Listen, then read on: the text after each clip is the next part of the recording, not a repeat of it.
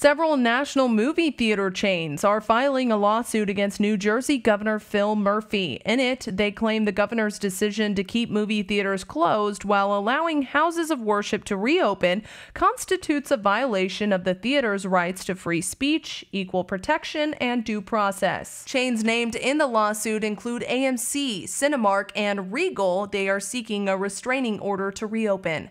Katie Johnston for CBS Philly.